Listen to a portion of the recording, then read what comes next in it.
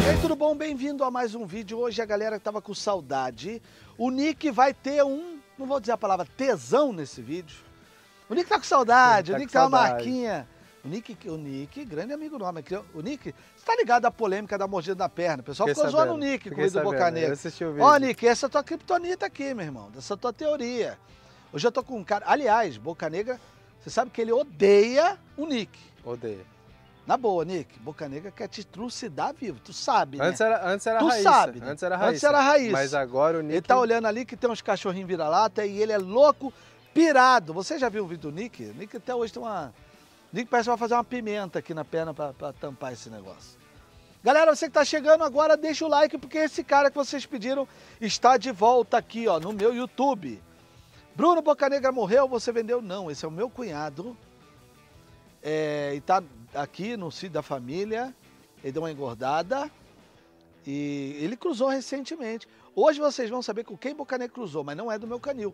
Mas você sabe que eu vou segurar um filhote dele, né? Sim, Lá. sim, sim. Vou segurar um filhote. Meu Instagram tá passando na tela. Eu tô sempre botando shorts aqui, de vez em quando vem aqui, olha todo dia um shorts. Mas é, o vídeo tá bem interessante hoje, você gosta de Boca Negra. E deixa o like pra gente, tá bom? Comenta se você tem saudade do Boca Negra e segue a gente no Instagram. Beijo do Gordo, bem-vindo a mais um vídeo.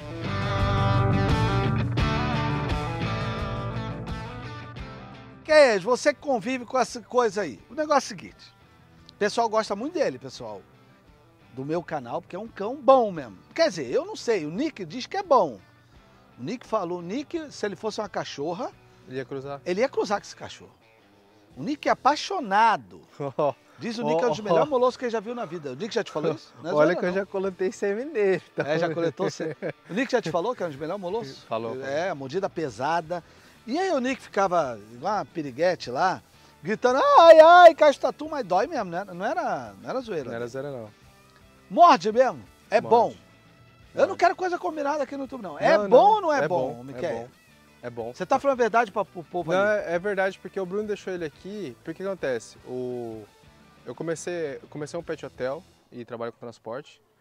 E eu precisava de um cão para poder cuidar da minha esposa enquanto eu, né, Viajava e viajava e tudo mais. Mesmo tendo Isso, o meu sogro e minha sogra aqui perto, eu precisava de um cão porque de noite ninguém vai Sim. escutar, né? Sim. Então, durante a noite ele fica solto no pátio. Então, qualquer barulho, qualquer coisinha, ele sempre tá alerta. Vizinho, tem campo de futebol aqui na frente da minha casa, pessoal que aparece Sim. aqui, ele sempre tá aqui no portão. É uma guarda ativa. Sim. A gente não pode esperar que o cão fique só na reatividade. O ideal é que o cão seja ativo, faça ronda, ele se ligue em qualquer barulhinho enquanto tem Exatamente. jogo. Se entrar alguém aqui, Miquel, ele morde ou não morde, na Vai. opinião? Eu- Pega ou não pega? Abraço pro peão. Abraço, já, era? Já era. Esse é um dos cães mais agressivos que eu tive na minha vida, no sentido antissocialite o negócio. Ah, não gostava da minha filha, já tentou pegar minha esposa. Calma, não fica assustado, porque muita gente vai ficar com medo de. não- estou aqui pregando que é uma raça violenta, não. É uma, eu sempre falo, uma raça muito família. Esse indivíduo, por eu ter feito o manejo errado, que minha esposa não convivia, Sim. minha filha não convivia, então a gente não tinha confiança né, de deixar ele ali junto com a família. Né? É, então eu errei no manejo dele e o Miquel, é, inclusive trabalhando com esses cães, que você aprendeu a. Às vezes vem uns clientes aqui no pet hotel dele e deixa, deixou o Malho treinado, que é bom pra caramba lá, né? Exatamente. O cara Aham. do Bitcoin. E você conseguiu pegar amizade com o Malho, uma Sim. amizade para limpar a baia, etc, Exatamente. etc. Isso vem muito da convivência com esse cão, com os outros que você trabalhou Exatamente. comigo? Com, o- convivência com, o com o presa canário, né? Que é um cão de guarda. É, dicas do Nick, que ele me auxiliou muito. Mas é, principalmente eu, eu ganhei confiança de mexer com cães agressivos com os presa canário. Sim. Por quê? É, você tem que ter um certo de nível ali para poder lidar com o cachorro. Porque, meu, é um cachorro que to- qualquer momento pode atacar você, pode fazer qualquer coisa. Então, é, você tem que saber identificar o que o cachorro tá, tá fazendo, entendeu? Então, esse cão aqui, principalmente, é um cão que tem muito intolerância a qualquer outra pessoa. Pessoa e outros animais. Exatamente. Agora, deixa de frente pra câmera pra ficar mais bonitinho aí, pô. Agora, Miquel, quantas brigas nós já separamos de presa canária? Algumas, né? Acho que foi umas sete, oito por aí. Cara, é, e a gente tomava todo cuidado, mas vira e mexe. Você lembra um dia que o Hunter escapou? Pulou, pulou antes do que os caniles eram um pouquinho É. mais baixos, pulou É. o canil e saiu no palco isso aqui. Que confusão. Mas era grade com grade, tá? Não Era saíram. grade com grade. Teve foi- outra vez que o Boca Negra, por ser um cão muito metido a machão, ele é metido a Exatamente. machão, ele tava fazendo guarda, ele pegou a ona. Você lembra desse dia? É, com todas as outras fêmeas, ele sempre abaixava a fêmea. Mas Aí, com a ona ele não consegue. Ele mexeu com a cadela diferente, a É. ona é diferente. A Ona, ela, ela, eu- ela se acha, sei lá, a líder da parada, né? E aí ele foi dar um pau nela, a gente tava aqui. E quando a gente viu, o pau comeu. Entre os dois, macho e fêmea, o pau comendo, os dois. E aí, porra, Miquel, vem cá, não sei o que, não sei o que, não sei o que. Eu lembro que o Miquel desesperado pra tentar separar, não sei se você vai lembrar disso. É, sim, sim. E aí eu falei, calma, agora não adianta. Quando os cães estão naquele agito, Tem que Sim, ó. deixar. não adianta tentar separar. Só vai piorar mais ainda. E eu lembro que. Tenta, é, tenta ficar parado aí. É, ele, ele não vai tentar me atacar mais porque ele me atura, não é meu amigo mais, mas quem sabe um dia a gente volta a ser amigo. Ah, e aí quando eles firmam a mordida, é, tu segurou por uma perna, por a parte traseira dele, eu segurei da ona, né? E quando eles tentam consertar a mordida, eu saquei, eu Puxa, puxei. Exatamente. E eu lembro que ela veio tentando me pegar ainda, né? Deixa pra lá. Porque ela queria briga com ele, É. né? Desde quando ele tá com você, tu nunca mais treinou ele. Não. Nunca mais. Tem que chamar o Nick Não, pra vir porque. O Nick às vezes vem aqui é, que, é, que, na, é que na verdade, o, pro Nick vir aqui é meio complicado, né? Ele ali no Paraguai pra poder vir pra cá direto aqui é. Ô, Nick, o Boca Negra está com saudade de você, Nick. Você tem que voltar a, vo- a- a vir treinar o Boca Negra. Nick assiste meus vídeos. Porque se tem um cara que tem história configurante, é esse cara. É. O Brasil inteiro sabe daquele vídeo, o Nick treinava ele, é um cão que o Nick gosta. Você pode reparar que ele não tem ah, quase stop nenhum, aqui é bem reto. A traseira é uma traseira bem forte. Ele tem um rabo quebrado, resultado do embrinde. É uma característica que ele passou para alguns filhotes. É um cão que tem vários filhotes aí trabalhando com muita agressividade. Já teve filhos que morderam situações reais. Então, um cão que passa um bom temperamento para os filhotes. Ele tem esse jeito antissocial, às vezes, com a família, por falta do, do manejo errado que a gente fez. Manejo, ambiente e estímulo é extremamente importante na criação. Repita comigo: manejo, ambiente e estímulo, ok? Ambiente certo, manejo correto, estímulo correto para firmar, marcar certas emoções corretas. Isso tudo faz a diferença no cachorro. É, e ele é um cão que deve ter não sei quantos quilos, chuta quanto? Uns 60? Não, um sei. mais. Quase, quase 70. Não, che- não chega a 70. Chega. Será? Não chega. chega.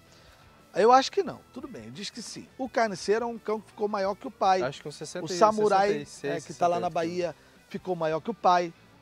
Ele é um cão que teve, por exemplo, samurai que veio lá do meu amigo. Eu vendi pro Severo, o Severo tinha que ficar viajando. Teve que devolver o cachorro, porque a, a esposa ficou com medo. Né? E quando foram buscar o cachorro, tiveram que chamar adestrador para tirar. Cachorro com seis meses, tiveram que chamar adestrador para tirar de lá. Que ele queria pegar a empregada. Então, assim, ele passa bom temperamento. e ele A cruzou. fêmea também. A fêmea também. A Zuri que tá. A Azuri. Você foi lá, cruzou ele na Gran agora, né? Sim. Tal. É, e eu vou ficar com o filhote. Lá, ele quis pegar o Rodrigo lá, botou ele no canil lá, Ficou lá. de boa no primeiro dia. Isso. E no segundo dia. Aí no segundo dia eu tive que sair pra poder resolver algumas coisas do carro, daí o Rodrigo foi querer inventar de botar água ah, pro vai, cachorro. vai botar água mesmo, Rodriguinho. Vai lá. Vai. Vai botar água, sabe aonde? Você vai ver onde você vai botar água. Aí ele quis pegar o Rodrigo. É, deu uma, deu uma avançada no Rodrigo lá. É, que fora do território, longe, dois mil quilômetros de casa. Isso é um cão, é assim. O cão que. Ele tolera algum estranho? Se eu- Vem aqui, um Nada. amigo teu, Nada. quiser fazer um carinho nele. O que, que acontece? Vai tomar mordida. Vai tomar uma mordida. É qualquer pessoa, é que nem eu falei, vizinho, pessoal que vem aqui jogar bola, sempre tá aqui rondando. Então qualquer pessoa estranha que não seja da família, que nem o, o sogro ele ali, tá acostumado.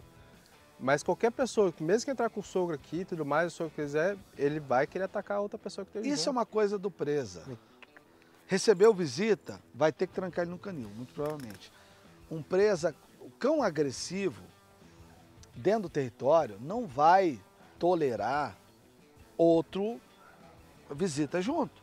Então, quando eu trago minha mãe lá em casa, eles não sabem que é minha mãe. Ele é um estranho qualquer, uma estranha. né? Ah, meu padrasto lá em casa, Valdemar, vem lá do, do Rio. Um abraço, Valdemar. Não, não, não tem como saber, ele não sabe que é minha família. Entendeu o que eu tô falando? Então esse é, é, um cão de guarda territorial. Aí, ó. Ei, o vizinho vem com o Doug argentino aqui às vezes? Não mais. Não mais? Não mais. Por quê? É por causa desse aqui, velho. Sério, deu problema? Não, não deu problema, mas é que o, o Boca Negra fica na tela, né? Cuidado aí, galera do cachorro. Doug argentino. Cuidado, hein? Veio do Doug, viu, né? Viu, né? Tô brincando. Ah, como é que o meu sogro é, convive, mora nessa casa aqui e convive com ele desde filhote? Sim. né? Porque eu morava nessa casa de trás. Ah, mas tem quanto tempo que o meu sogro consegue manusear, apesar dessa convivência de tanto tempo? Uns 4, 5 meses. Quatro, cinco meses que ele consegue. Isso. O Boca Negra, quando eu falo pra vocês no vídeo que ele é um cão, é, igual eu dizia antigamente, né? Cão antissocial, é justamente nisso. Ele é um cão que tem uma mordida muito forte, mordida equilibrada que a gente fala, aquele cão que morde com molar, né? Tá um pouco ferrujado, tem mais de um ano que não treina. É um cão que tem uma agressão inata, é dele. É um cão de poucos, poucas pessoas, né, Poucas Miquel? pessoas, exatamente. né? Ele é filho da Grace de Esparta ou da Lucy. Eu vou colocar o- a foto da mãe dele. Então, o Boca Negra, ele é parente, vem a ser parente do Kron, primo de segundo grau. Ele vem a ser parente eh, de vários cães que eu já importei. Ele é parente da, da própria roleta russa, que é a cadela que eu importei do Esparta. Enfim, só que ele vem de um, pouco de uma linha diferente, mas ele é o Boca Negra de Esparta. Eu trouxe ele de Portugal, junto com a Lurin.